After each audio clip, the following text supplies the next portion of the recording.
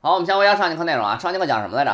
上节课讲的是回忆，是吧？回忆回忆一些更以前的这个前辈，比如说奥斯特，是吧？最比较早，最早提出这个呃这个电流旁边的电这个指南针它转悠了，这这谁呢？奥斯特，是吧？后来呢，安培，是吧？就是右手定则。还有谁呢？欧姆，欧姆他呢？这个我上次说错一点，什么呢？就是电阻的大小和导体的长度成正比，说这导线越长，电阻越大，啊，和横截面积成反比，说导线越粗，电阻越小，然后还和电电电电阻率有这么一个一个正比关系，是吧？是这样的。那么还有法拉第是吧？法拉第是是这个是理论物理学家呀，是实验物理学家呀。那显然实验物理学家他做了很多实验，还记得那个水银，然后电动机，然后发电机是吧？发电机有直流、交流，它都能发是吧？哎，所以呢，当时呢，不管是发电的装置还是用电的装置，都是一个人造的，所以它能关联的很好，对不对？很多时候就是这样。最早最早编码的人跟解码的人，回忆回忆什么叫编码，什么叫解码来着？哎，把说出来的这个这个意思变成，比比如说把字母吧，把这字母变成什么呢？变成滴答，是不是叫编码？把滴答变回字母呢，就是解码。编码的人跟解码的人是同一个人，他是不是就沟通起来很方便？因为他就是一个人，不用沟通啊，哎。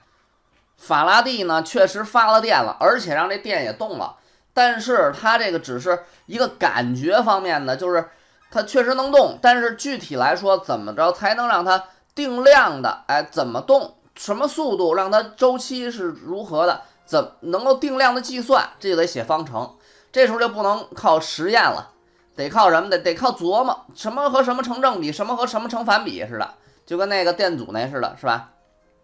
哎，这就需要。理论物理学家，theory 是吧？theory 就是物理学家中的数学家，能用数学方法列出方程的人。哎，不但能列出方程，这人他还预测了电波的存在。什么叫电波呀？我们收收音机、看的电视、卫星天线下来的，包括发手机，离不开电波。这人是谁呀？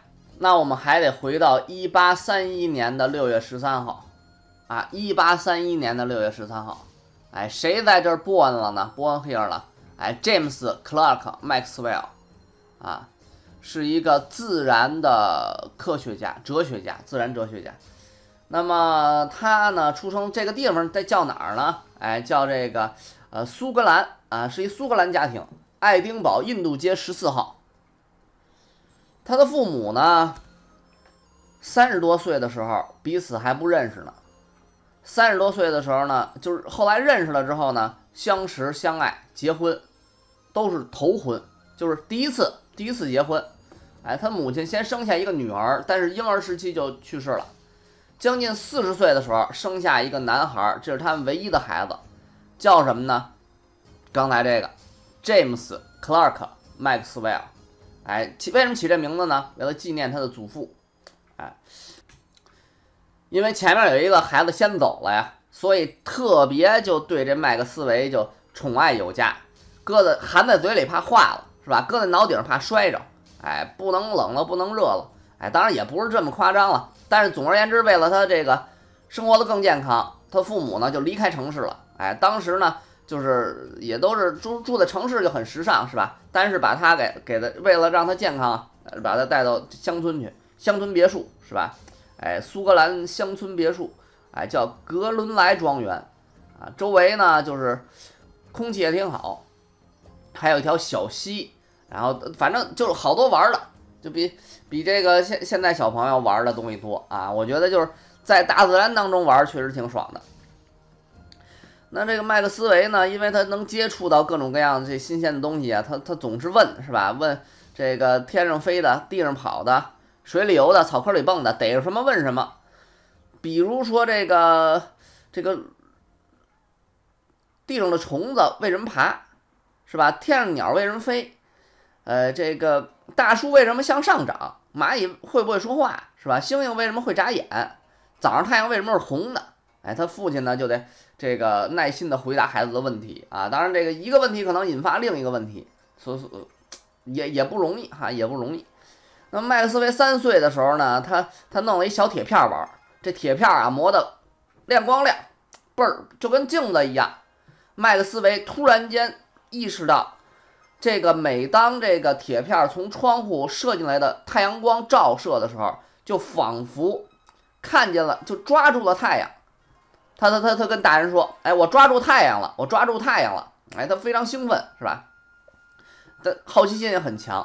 哎，从从从小就喜欢鼓捣东西，是吧？鼓修鼓秋，门呐、锁呀、钥匙啊，是吧？哎，鼓弄这也不一定是拆，是是修，反正反正还给他妈讲原理啊。他妈呢，专门在家教他啊。这个这个是典型的维多利亚时期的家庭妇女。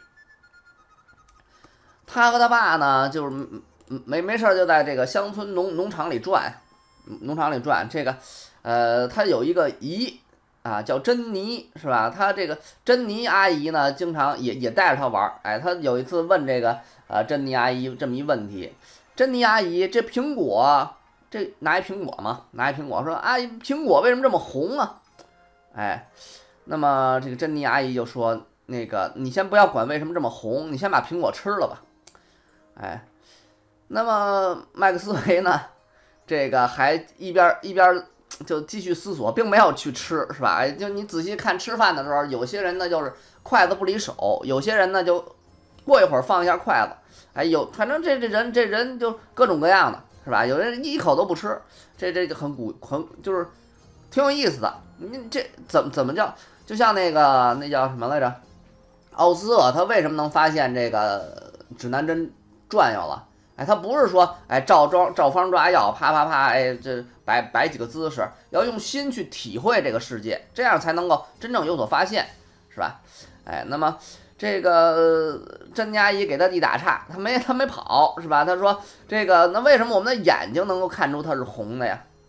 哎，这个这个珍妮阿姨就就很很困惑，是吧？这问题这刨根问底儿，这问问来问去，问来问去就没个头了。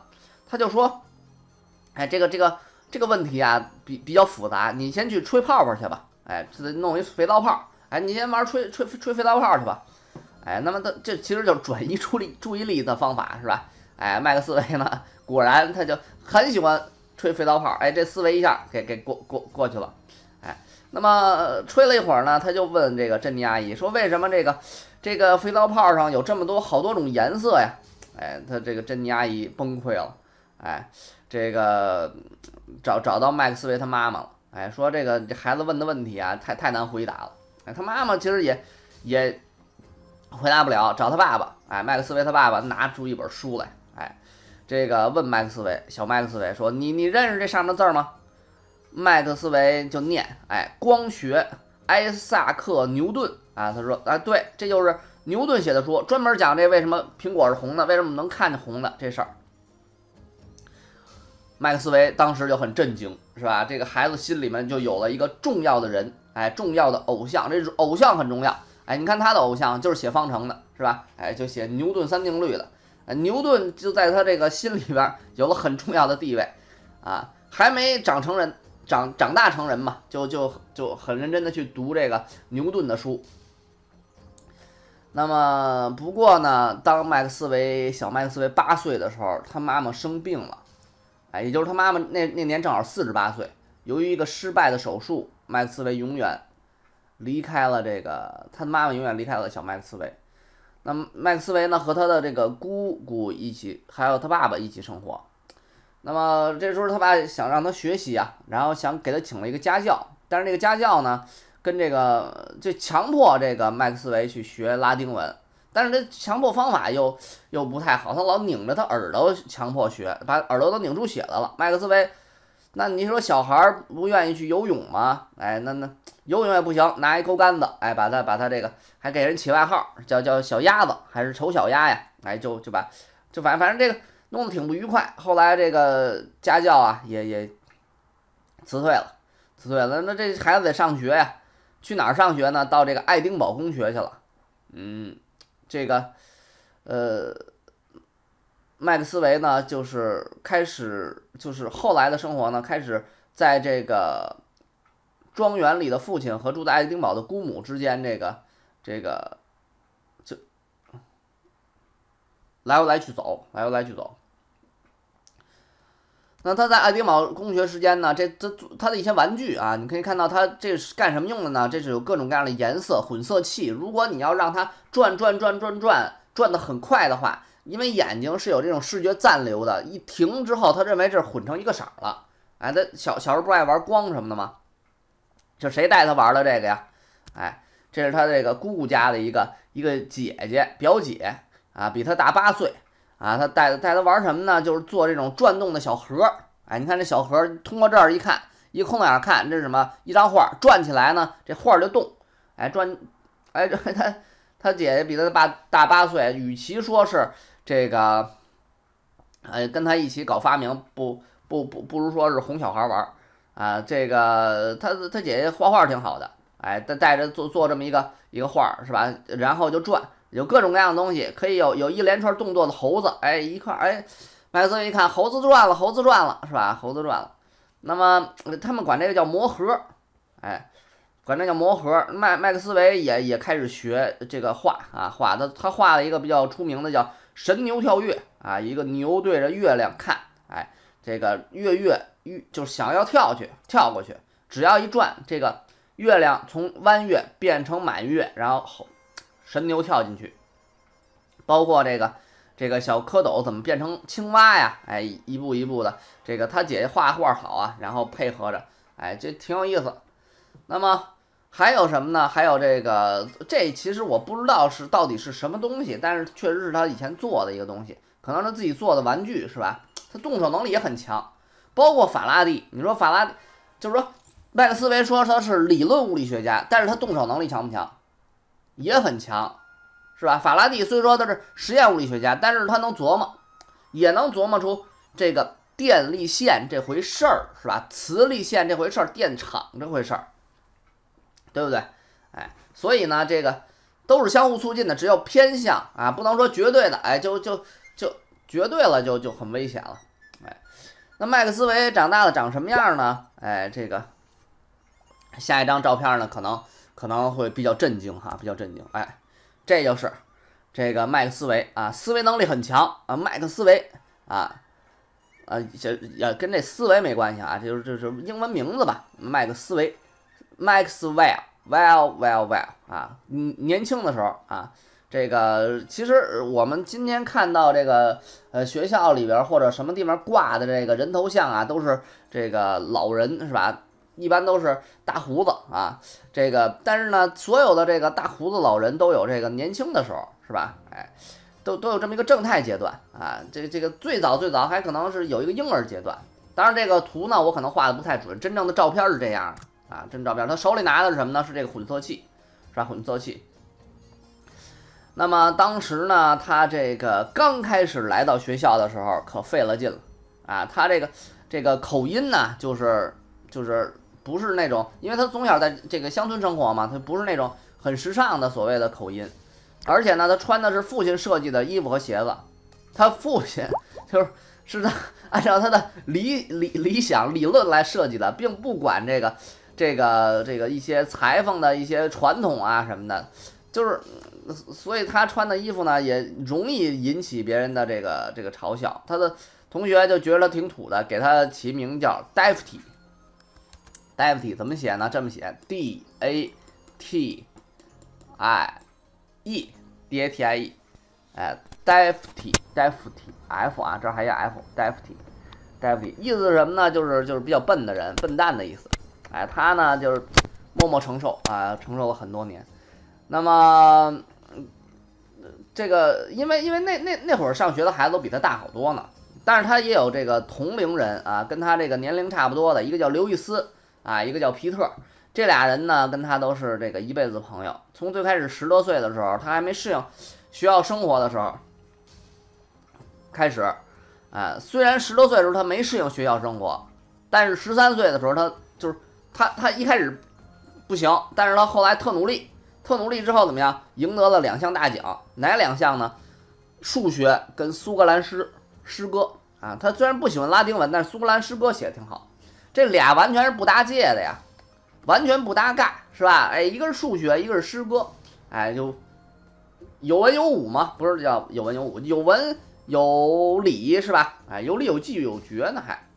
那么，而且呢，他兴趣很广泛，他但是他对考试没没什么兴趣，他就就就就就喜欢什么呢？这个喜欢这画图、几何什么的。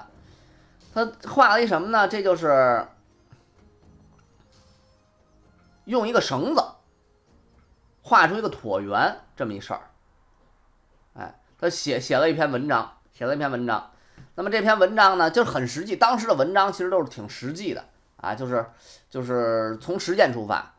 嗯，那么他爸爸很就是感觉挺挺牛的哈，把这个论文呢就给这爱丁堡大学这个教自然哲学的这个老师来看。这个老师说这个太就当时这就是没人想这事儿，就椭圆到底怎么出来的，没人想。所以所以感觉这这是十四岁孩子做的吗？哎，把他把他这个。招到爱丁堡大学，成为一个呃大学生吧。哎，最开始的爱丁堡公学是相当于中学的意思啊啊，就是它就是中学嘛，公学就是那么一个意思。那么这爱丁堡大学的这个老师叫什么呢？D.J. 福福福布斯啊，福布斯。那么他就让，而且他把这个就是那个用用一个绳画椭圆，这个在爱丁堡皇家学会会刊上发表了。还记得这个皇家学会会刊吗？皇皇家学会是吧？啊，Royal Society 是英国的，是吧？英国呢，它好多地儿都有，伦敦呢就有伦敦的皇家学会，就是总舵。我我感觉就皇家可不是在伦敦吗？应该是吧？那么这个爱丁堡呢，就是分舵。啊，皇家那边法拉第就在伦敦，伦敦的皇家学会。不久之后呢，麦克斯韦又写了一个关于这个椭圆的，还有这个曲线的特性的这么一个文章，还写了一个光学特性的文章。哎，他的他后来后来有人去写他的传记，然后呢，就是复制了这文章，应该现在还能找到。这些文章就显示了麦克斯韦的两个特点啊，严密性。和对几何论证的偏爱，跟牛顿一样。那小时候不是喜欢牛顿吗？牛顿就是喜欢严密性，就是做事情做的很严密，是吧？哎，而且呢，他喜欢这个几几何论证，这从几何方面，椭圆，哎，怎么弄的？他怎么怎么，包括牛顿微分积分什么的，是吧？当时这麦克斯韦啊赶上了，正好有三位很出色的老师给他上课，哎，说这个左边这位。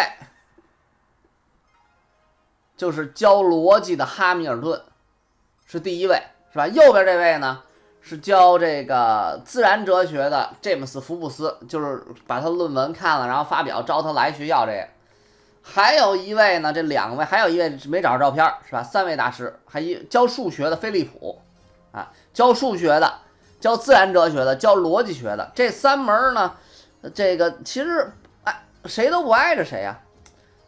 但是呢，正是因为这种原因，所以它才很综合。就是最早的时候，你想这个说所有的大学专业里边最早的专业是哪个专业呀？哎，也没有，就最早可能还连大学都没有呢。大学整个来说是一个专业，然后一个一个加出专业，然后在学院再怎么样，对吧？最早的时候，学院呀、系呀、专业分的不是那么细致。什么叫 university 是吧？宇宙万物无所不包啊。University，他呢，这个当然麦克斯韦除了跟他们学之外，也主要这一个人，他想想这个学东西，别人的力都是外力，关键靠内力是吧？关键靠自己学，业余时间自己学。十八岁的时候写了又写两篇论文，也是关于数数学曲线的啊，一个是关于螺旋线，还有一个呢叫论弹性体的平衡啊，这个他的数学基本功就打得很扎实了。十九岁的时候，哎，看这个，这个他希望能够进一步深造。爱丁堡大学，这个相对来说呢，就不如这个学校的这个学院厉害。这个学校哪个学学校呢？叫剑桥大学。这学院叫哪个学院呢？三一学院啊，Trinity College Cambridge。啊，Trinity 呢，就是三一学院。啊，college 呢就是这个大学啊，剑桥大学，college Cambridge。他这学校这个谁谁是这儿的呀？他的偶像偶像是谁来着？牛顿对吧？牛顿，牛顿呢就是他，我觉得牛顿他厉害之处就是把天上的物体跟地上的物体它的规律统一起来了，用数学方法写了三个公式啊，牛顿三定律嘛，力学界的经典。后代的后来的就是教这个经典力学，一说经典力学离不开牛牛顿是吧？就是。它的基本方法包括他研究光学、色散呀、三棱镜什么的。那么他这个麦克斯韦来到这个历史悠久、传就是偶偶像般的学院之后，他跟谁学呢？哎，这是他当时的老师霍普金斯。哎，霍普金斯一开始也没注意到这个麦克斯韦，他他他有一他他去图书馆借书去，借那数学书啊，他老借不到，总是被人借走。很郁闷，他们管理员谁借走了？麦克斯韦，后来又又又又又又又借走。你说借走了不还，好几本书都这样，那他得看看去了，是吧？这个这这这这一般学生看不懂这书啊，你这怎么回事啊？哎，一看麦克斯韦屋里比有点乱，是吧？哎，认真的去去看看看这个这个书呢，他觉得这个凭直觉，这这这孩子肯定。是个天才，哎，那么除了屋子乱一点儿，整体来说，这个能够看这种书的就不容易了，哎，那么这屋子乱没关系，收拾收拾，哎，就把这个杂乱的这个屋子收拾收拾，把这个学习方法收拾收拾，生活理顺了，哎，这建立一个比较严格的这个，就是一开始的时候啊，就是把这个基本功打得扎实一些，其实比什么东西都很重要，很重要，数学的基本功啊。不过呢，他在他学习的时候，他的父亲呢，在他二十四岁的时候去世了，啊，那么他呢，就是他在这个爱丁堡原原来的爱丁堡的这个老师啊，发现马歇尔学校有这么一个工作，马歇尔大学有这么一个工作，就让他去。他当时呢二十五岁，他到那儿才发现，他周围的这个同事啊、教授啊，全都五十多岁，代沟很严重啊，代沟很严重。这一半儿啊，二十五岁那边五十多岁，是吧？那不过呢，就是说不到一块儿，但是也有好处。哎，跟他们说不到一块儿，能跟谁说一块儿？哎，跟同事的孩子跟他差不多大。当时有一同事，是吧？他同事，那那么他结婚的的对象就是他同事的孩子，是吧？同事孩子，他跟跟就是俩人一块儿在这个实验室里做实验啊，做实验。他当时研究什么呢？他就呃，当时的研究，他不是研究流体什么的吗？研究这个土星的光环模型，就是土星不是有一个那么一个大圈儿吗？就是围绕着光环。当时不知道这是是是一个一个的无数的小卫星，就是这样是，就是你把它拉近拉近拉近了看，它是无数的小卫星。哎，它是一个这个。弹性体的平衡的这么一系统啊，说起来反正就是，就它证明了它不是一个整体的一个大帽子、帽檐、大圆环，而是一个一个的小小碎石头，是这么一个一个一个情况。哎，他还做了一些这个可调螺旋呀。后来呢，这个马歇尔大学和阿伯丁大学呢合并了，这个一合并之后呢，在自然哲学这方面就还剩一个工作岗位。虽然麦克斯韦是比较出名的，但是呢，就是最终最终他发现，哎，他就出局了，下岗了。那么他呢，又又怎么办呢？他就经历了一个比较困惑的时期。其实他是挺牛的，哎，从爱丁堡一直到这个剑桥，这都都都是，而且发表很多土星光环什么的。但是但是生活其实有的时候是很现实的，很现实的。几经周折，包括他去这个想申请爱丁堡的这个爱丁堡学校，不是有他老恩师的这个这个教习吗？不过他也没有成功，是吧？就是就是他反正总而言之，那那段后来几经周折吧，他在伦敦大学的国王学院找到了这么一个国王学伦敦跑伦敦去了，安定下来，终于安定下来了。伦敦就是总舵呀，是吧？总舵就是英国首都伦敦嘛，是吧？英国首都伦敦。他呢开始这个研究这个光偏振光啊，研究光的弹性。他因为这个方面的内容就是光的方面的研究啊，获得了伦敦皇家学会的奖章，成为了皇家学会的一员 （Royal Society），Royal Society。谁在伦敦皇家学院还有印象吗？哎，那么就是法拉第呀，是吧？法拉第比这个麦克斯韦大四十岁，大四十岁。但是呢，这个麦麦克斯韦小时候呢，就是听说过法拉第啊，也他到了伦敦之后，他更是去这个伦敦学会。这皇家学会去听讲座去。这法拉第呢，他因为因为他小学没有毕业，所以他很多的时候都是用直观的方式来表达自己的观点的。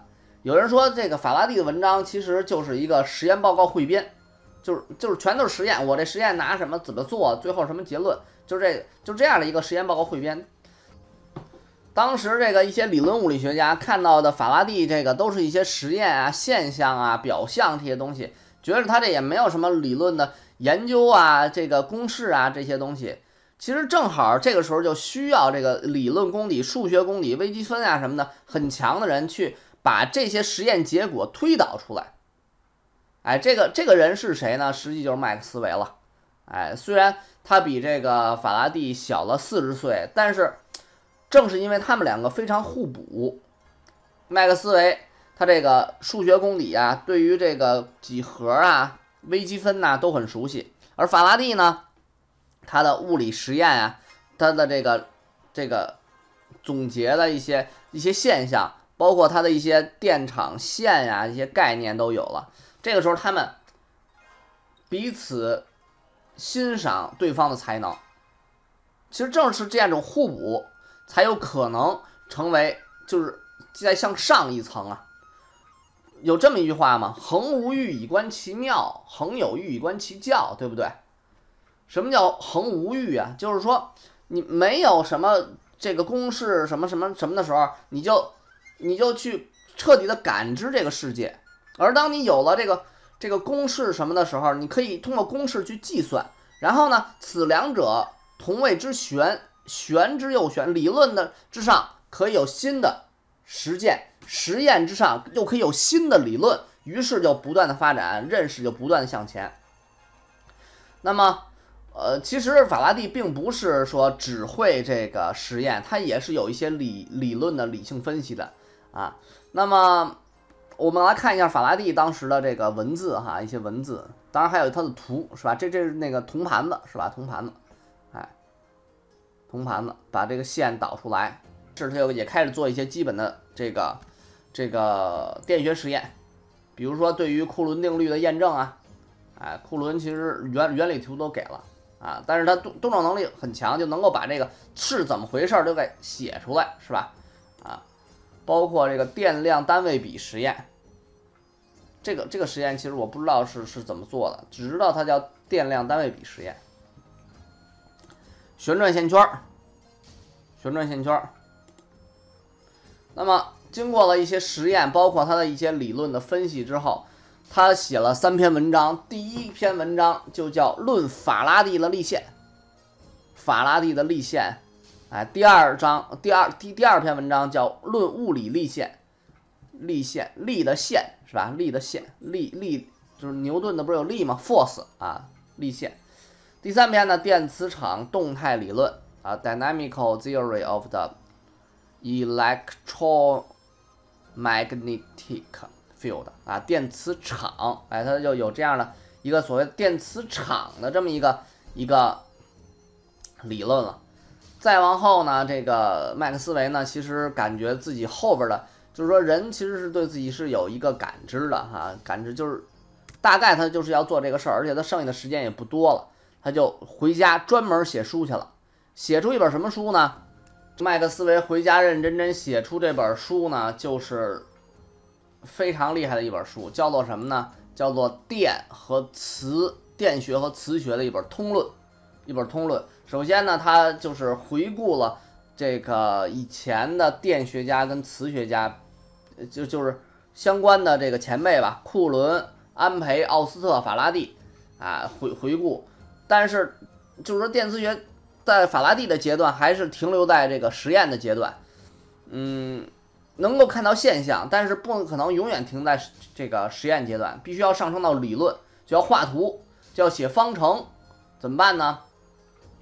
麦克斯韦干了这事儿，哎，系统的把这个电荷啊、电流啊、电场啊、磁场啊这些关系都理得很清楚，哎，包括他画的这个，能不能看出这是什么？电场的分布图，对吧？电场的分布图，电场周围有磁场，是不是？哎，电磁场正交的，它就是不就就就就就是把这个。列出了方程来了，就是当时的写的方式是吧？积分二次积分是吧？哎，从什么到什么的积分，他最后呢把这个总结出了四个方程啊，就一个方程组啊，这四个方程非常厉害啊，就被评为历史上最伟大的十个方程组第一名，就所有的方程组都加在一起。有十个是最伟大的，他是这第一名，但是呢，也确实是不好记啊，所以有的就会写在手上啊，这个帮助记忆啊，帮助记忆。那么这个说是不好记，但其实也得有方法。谁讲这个讲得好呢？哎，麻省理工有这么一位老师，Water Levin 啊，Water Levin，Levin，Levin 啊，他讲的就非常好。不光是讲电和磁，呃，网上就可以搜到，应该讲电和磁，讲振动与波，讲经典力学，讲音乐的各种声音，这都是现成的这个这个课程。我觉得讲的比我是好多了。哎，想了解这个这四个方程到底是怎么回事儿？哎，到底是是什么个意思？哎，听听这这位老师讲的，非常好玩，非常好玩。那麦克斯韦呢，就把这个。分子呢，就当成一个涡旋的模型。简单来说呢，就是说，呃，这样的一个东西，有点像这个，一边是电，一边是磁。电变化了，可以产生磁，变化电场产生磁场吗？变化电场产生磁场，变化磁呢，又可以产生电。哎，你说电生磁，磁生电，彼此互生，传播开来，会不会有一种东西叫电磁波呀？你看电变化电场产生了。变化磁场，而变化磁场又产生变化电场，变化电场又产生变化磁场，是不是就电电磁磁往外扩散开了？哎，这就是电磁波的一个最基本的模型，最基本的模型。而且呢，它还把电磁波和光综合到了一起。光是什么呀？就是光照啊，最简单的太阳光啊。他把这个照片啊，那时候是有照片了，但照片都是黑白的。但是他通过这个滤镜，就我这个虽然是照这张，但是我只滤过来，滤进来红色的，我出一个红色的底片，那个只出一绿色底片，那个只出一个蓝色底片。那么他通过三个滤镜出来三个底片，再通过这三个底片把它合成，又生成了彩色照片。这其实是什么？这就是这第一张彩色照片的名字，就叫彩色缎带。实际上做这事儿的人呢，叫托马斯·萨顿啊。在这个照片之前，原本的三原色是红、黄、蓝，哎，但是红、黄、蓝出来效果并不好，慢慢逐渐逐渐就是红、绿、蓝。包括我们现在这个电脑的色彩模式就是 RGB 是吧？RGB 三个色带怎么做来着？三个滤镜，先把光筛出来，筛出来之后再合在一块儿。哎，剪出来就是这个彩色照片了。麦克斯韦呢，分析了电，分析了磁，又分析了光，他把电、磁、光融在一起，这就是他提出的电磁波的理论。他只是预测有这么一种东西可能是电磁波，但是真正他也没做实验试出来，就有这种可能性。而且他提出光就是一种电磁波。实际上他还真是，他预测对了。还记得他最早的时候拿一个铁片磨的小镜子，然后说：“我捉住太阳了，我捉住太阳了。”这回事吗？哎，实际他真的知道了光的本质，他真的捉住了太阳，非常强大。带领人这个方程组啊，其实是一个非常强的物理基础。包括你现在使用什么 WiFi 呀、手机呀什么的，都是使用电磁波，都是在利用这些方程组。电磁波理论最后呢，他写完这个之后，他就成立了一个凯文迪许研究实验室 （Cavendish）。Cavendish，Cavendish 是谁呢？他他是更早的前辈，比法拉第还要早得多啊！法拉第的前辈的前辈，前前辈是吧？前辈之前的前辈，前前辈之前，前前辈之前，其实还有更前的更前辈是吧？啊，永远有有有有更更更前的。他研究什么呢？比如说刚开始接触到莱顿瓶的时候，那个英英国因为在海边啊，他发现这个鱼有一种电摇，这个鱼电了之后和这个莱顿瓶电了之后感觉差不多，所所以他就造了那么一个呃人造的电摇。他就这开文蒂是呢，不但是个物理学家，还是个化学家。物理学家、化学家最开始本是一家，是吧？就是包括那个杂志。都都都是物理与化学与物理学年鉴，所以都是一家。包括数学，其实最开始也没有数数学这个学科，就是最开始任何学科都没有，就总是那么一个混沌一体的状态，这是比较根源的。但是它逐渐就需要有了学科，不断的需要深化，不断需要具体量化精细，但是永远要记住那个根源是什么样的。根源我觉得是很重要，当然你也要有深度，有人有很有深度，有人很有广度，这都都都都是挺挺好的。那么化学家做什么呢？就是用铁和稀硫酸反应制作这个可燃气体。我们今天都知道，铁和稀硫酸一块就出什么了？出氢气，对吧？哎，用排水机系法把这个气体呢处理，再把这氢气和这个空气混合，在混合的过程中。然后把它烧了，烧了之后发现这个容器上面有水滴出现，而且大致是消耗了五分之一的氢气空气，哎，就大概是一个氧，可以用今天的话说就是氧气在空气中的比例是这么回事吧？他还测了地球的密度啊，地球的密度。那么这这说的是谁呢？开文蒂史，开文蒂史啊，这这就是就是麦克斯韦不是。这个巴黎实验室嘛，这实验室是什么？开文地质实验室啊，是呃麦克斯韦的前辈的前辈的前辈。那么麦克斯韦呢，最终呢，其实在他四十八岁的时候，就死于这个腹腔的一种癌症啊。他的妈妈其实也是在同样的年龄，死于同样一种病。他发现了电磁波的存在，但是没有证明，没有通过实验的方式来证明出它来。这个时候，理论物理学家又需要实践的动能能够动手的实验的物理学家了，所以他总是这样。这个恒无欲以观其妙之后，就会恒有欲以观其教；恒有欲以观其教之后，就会恒无欲以观其妙，是吧？就是玄之又玄。动手的人，他发现了很多各种各样怪异的现象，但是他又没办法去把它。